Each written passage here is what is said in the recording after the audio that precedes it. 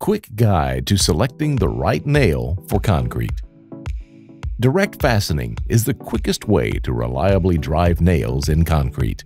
We'll now explain to you what you need to know to select the right nail for the job. Let's take a look at all the factors that need to be taken into consideration.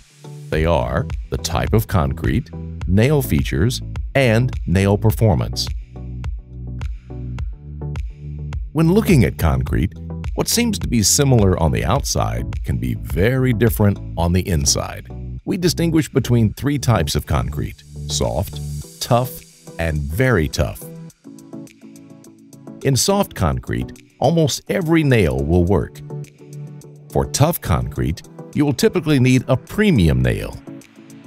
Very tough concrete is a challenge for any nail, and direct fastening might not be the best option anymore. The second factor, which influences nail selection, is the features of the nail itself.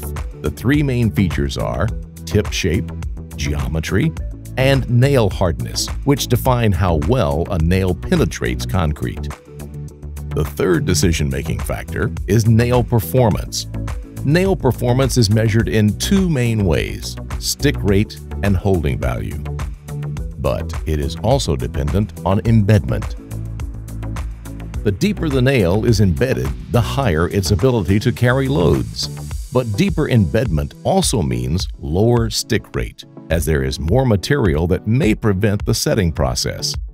Now that you understand all of this, these simple steps will guide you to the right nail.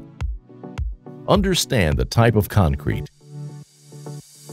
Know what holding values you must achieve, maximize the stick rate, and choose the right features of the nail to drive it successfully.